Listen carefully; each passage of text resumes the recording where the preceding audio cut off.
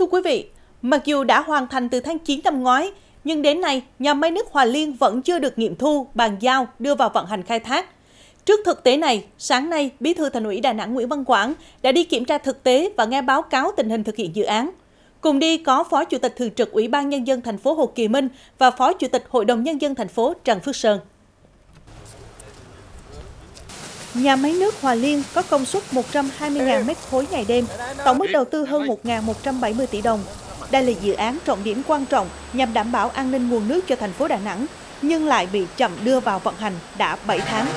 Theo lãnh đạo Ban Quản lý Dự án Đầu tư xây dựng công trình dân dụng và công nghiệp Đà Nẵng, Sở Xây dựng thành phố, đến nay nhà máy vẫn chưa được nghiệm thu, bàn giao cho đơn vị vận hành do một số vướng mắc về thủ tục.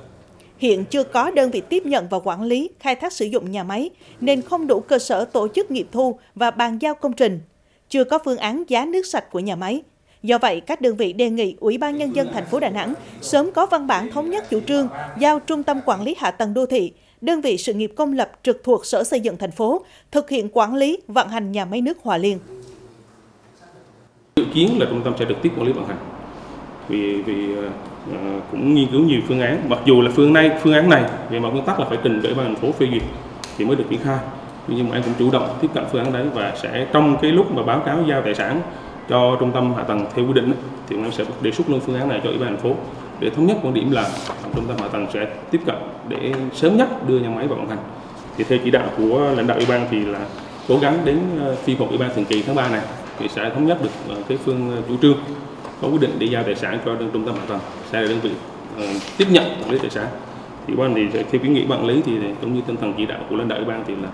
ban sẽ cố gắng làm kịp cái tiến độ này.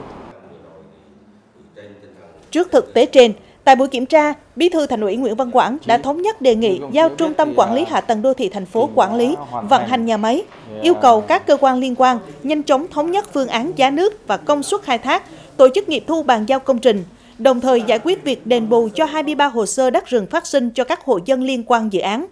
Tất cả phải thực hiện gấp rút và hoàn thành trong tháng 3 này.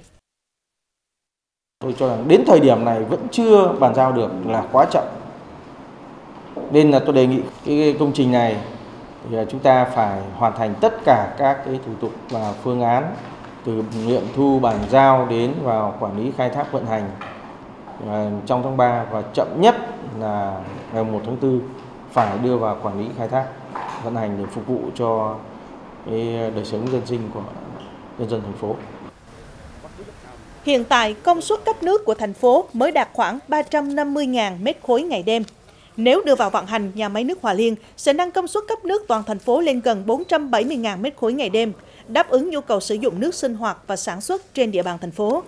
Vì vậy, dự án nhà máy nước Hòa Liên đóng vai trò cực kỳ quan trọng trong việc đảm bảo an ninh nguồn nước sạch của thành phố Đà Nẵng và việc gấp rút đưa vào vận hành nhà máy nước Hòa Liên ngay trong mùa hè này là vô cùng cần thiết.